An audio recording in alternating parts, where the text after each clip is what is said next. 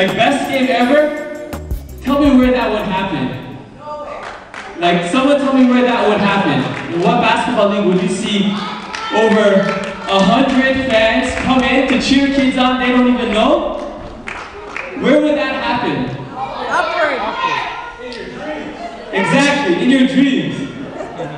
Right? That's that's just not normal. And that hit me Tuesday night. So I you know, kudos to all the volunteers who, who made that happen and some of the guys were up until 3 a.m. the night before. That's not normal.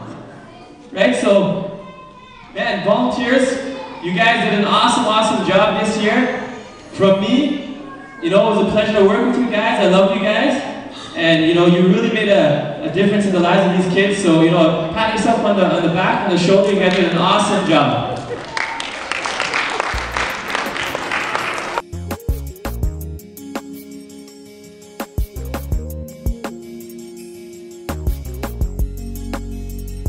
You got